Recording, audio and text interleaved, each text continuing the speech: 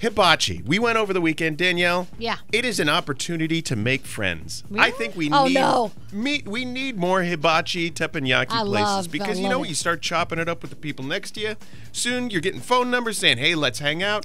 Whether or not you actually hang out, I mean, I don't know. Nate, you're that guy. I'm that guy. No. I'm that guy going, "Hey, are you going to catch the zucchini in your mouth?" No. Oh, oh God.